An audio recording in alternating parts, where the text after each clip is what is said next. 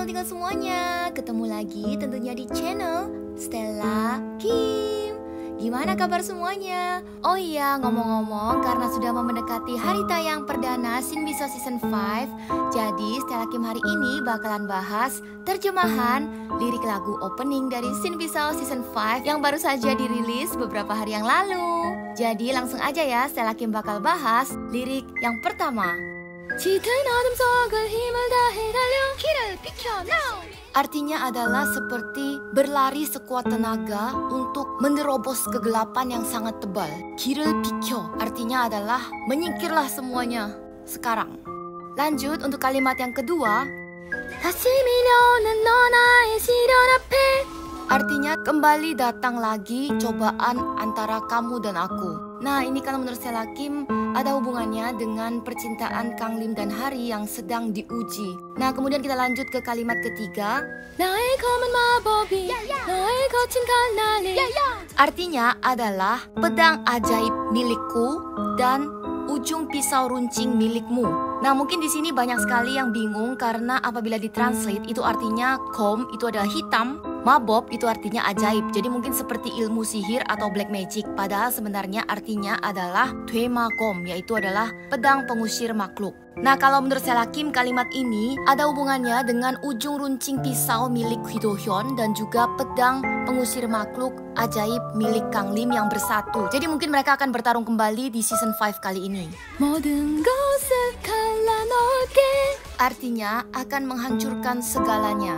Tapi kalau menurut saya Kim ada hubungannya dengan kalimat yang sebelumnya. Kalau menurut saya Kim, nantinya Hyun dan juga si Kang Lim ini akan bertarung sampai nanti akhirnya menghancurkan segalanya. Jadi mungkin karena si Do Hyun ini tidak sadar kalau dia itu uh, melawan Kang Lim. Karena pada saat yang di season 4 dia sudah ingat kalau Kang Lim adalah adiknya. Tapi sepertinya di season 5 ini dia bangkit kembali mungkin hilang ingatan atau tidak mengingat si Kang Lim sehingga dia bertarung melawan adiknya sendiri yang nantinya akhirnya akan membuat dia sendiri sedih dan menyesalinya. 기억 hara nega 널 찾을 수 있게 Nah kalau yang ini artinya seperti mengingatkan gitu Jadi ingatlah kalau aku pasti dapat menemukanmu Jadi apakah mungkin ini adalah cinta Kang Lim yang mungkin hilang Dan nanti bakal ditemukan kembali oleh Hari Misalnya nih kalau ditinggalkan sama si Kang Lim Tapi si Hari tetap yakin bahwa dia bisa menemukan cinta Kang Lim kembali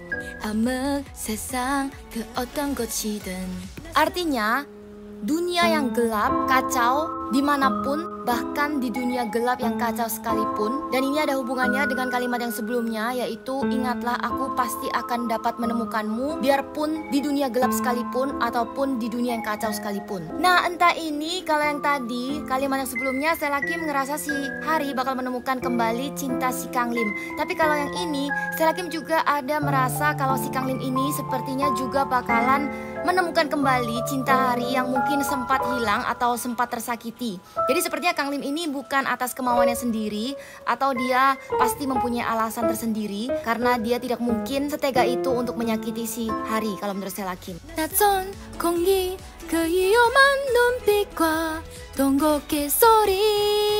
Artinya adalah udara yang sedikit aneh, mata yang berbahaya, dan suara ratapan.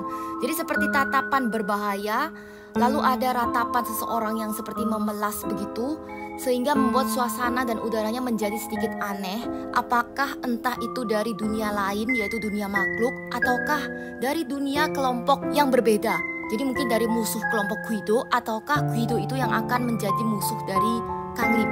Jadi ini setelah Kim sedikit curiga, ini mata berbahayanya itu ada hubungannya dengan si Chonga yang nanti dikabarkan bakalan menjadi cinta segitiga dari Kang Lim dan Hari. Ini artinya adalah ketika kamu jatuh dalam keputusasaan. Jadi mungkin kalau menurut Kim bakalan ada yang putus asa.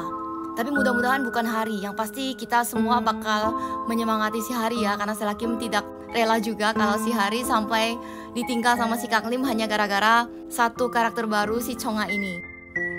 I got you, I got you, I got you from the enemy. Aku mendapatkanmu, aku mendapatkanmu, dan aku mendapatkanmu dari musuh. Kalau menurut saya lagi, mungkinkah si hari ini mendapatkan kembali cinta Kang Lim yang sudah berhasil direbut oleh musuh? Entah siapa, masih kita belum tahu, nanti kita bakalan mengungkapnya di season 5 kali ini ya teman-teman.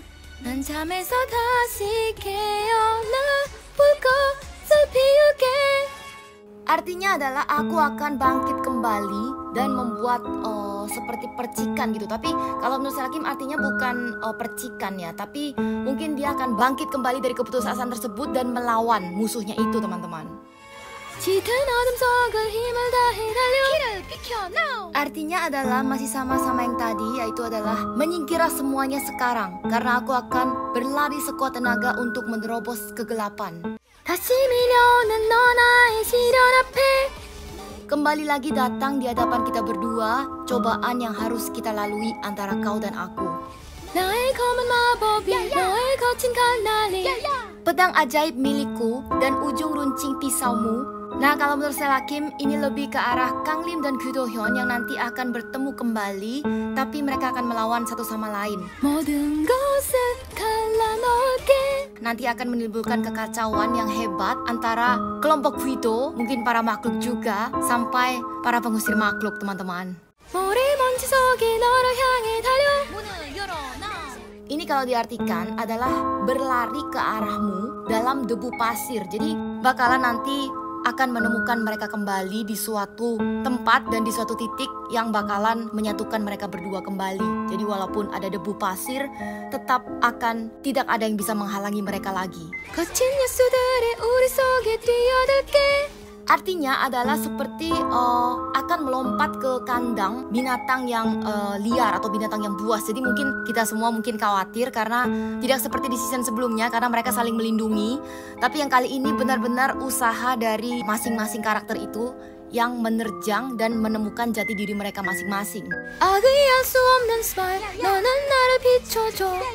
Nah, kalau yang ini artinya adalah senyum jahat yang tidak diketahui. Anda menyinari saya. Jadi, oh, ada senyum jahat yang tidak diketahui atau misterius. Ada sesuatu kekuatan jahat yang membuat ada seseorang karakter baik ini entah siapa siapa pun tidak mungkin akan menghindari ataupun menghalangi kejadian yang akan terjadi ini. Jadi sepertinya kalau menurut Stella Kim dari sisi Kang Lim karena dia udah mengetahui bahwa ini bakalan terjadi. Jadi makanya dia hanya berusaha yang terbaik serta melakukan apa pun sebisa mungkin yang dia bisa untuk menyelamatkan orang-orang yang ia cintai di sekitarnya, teman-teman. Nah, kalau ini artinya kita tidak mungkin bisa menghalangi walaupun sangat berbahaya sekalipun teman-teman. Jadi kalau memang itu adalah kehendaknya.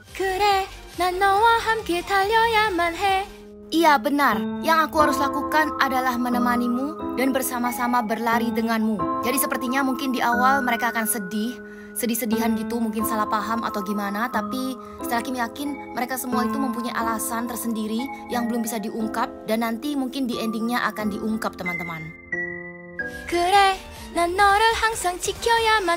Benar, yang harus aku lakukan adalah selalu melindungi dan menjagamu. Aku seharusnya hanyalah fokus untuk menjagamu dan melindungimu. Nah itu dia terjemahan dari lirik lagu opening scene Biso Season 5 Bagaimana? Semoga terjemahan dari Stella Kim bisa membantu teman-teman yang penasaran ya Kalau begitu sampai jumpa tentunya di channel Stella Kim Dan bagi yang belum subscribe, like dan juga menyalakan tombol notifikasi di channel Stella Kim Buruan ya, Stella Kim tunggu Bye-bye, sarangeo.